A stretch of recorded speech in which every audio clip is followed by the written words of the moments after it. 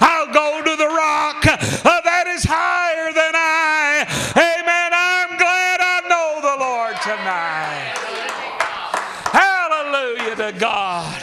He's so good to us. And the Lord told Moses, He said, You go down and tell Pharaoh to let my people go.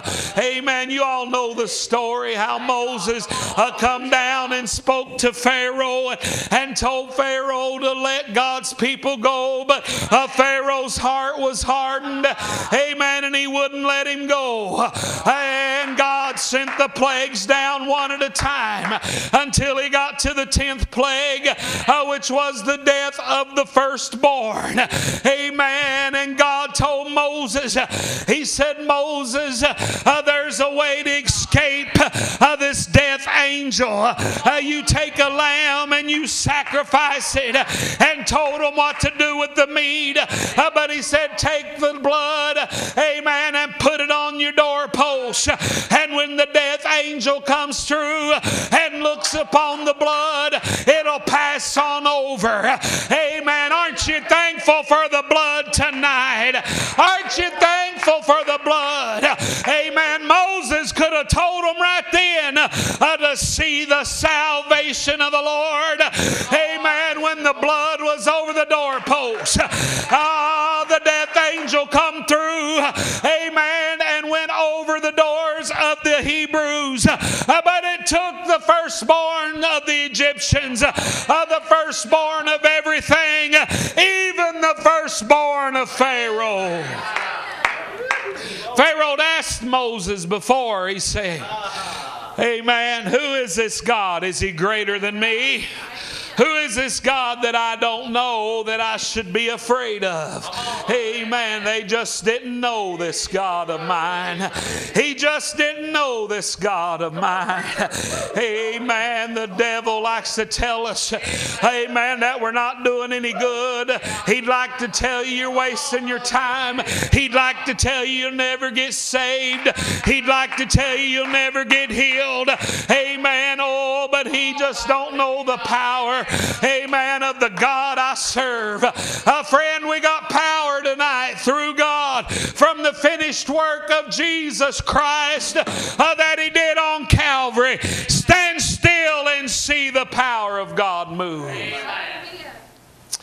Pharaoh told Moses, said, Get your people and go. Amen. His son had died and it got his attention. All the plagues. I thought all the plagues of the water turning to blood, the frogs, the lice, the flies, the, the hail hitting the ground and fire chased after it, the plague of darkness, of locusts, of bulls and blains. Amen. All the plagues uh, really didn't faze Pharaoh that much until he lost his firstborn. And when he lost his firstborn, he told Mo- uh, Moses, You go and get your people and go.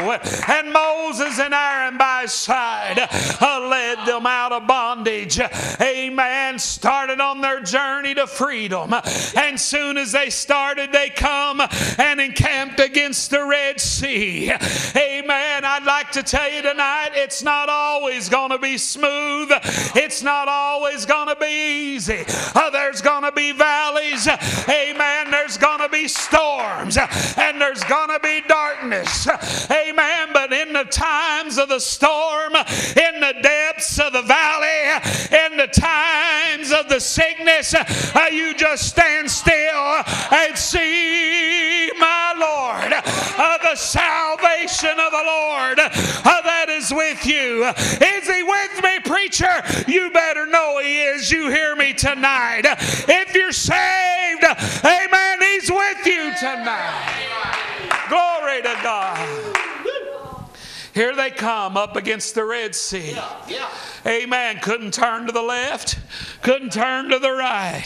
The enemy coming up behind. See, after they left, the Bible said Moses' heart was, or Pharaoh's heart was hardened again, and he went after Moses. He got his chariots and his army and chased them all the way down to the Red Sea.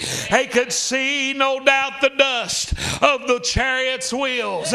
Amen. Coming after them. They couldn't turn to the left, they couldn't turn to the right, and in front of them was a sea. They didn't have nowhere else to look uh, but up. Amen. Sometimes, friend, when we're uh, got trouble all around us, uh, the only place we can look is up and just stand still right where you're at and see the salvation of the Lord. I've read where He brought a fountain up right in the middle of the desert. Amen. To give them drink and restore life. Tonight and see the salvation of God. Couldn't you hear the people? Moses, what are we going to do? Moses, you've led us out here to die. We're going back into captive. Amen. We're going back into captivity.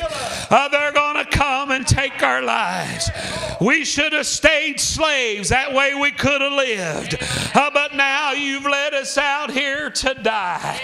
Amen. Ain't that just like the enemy?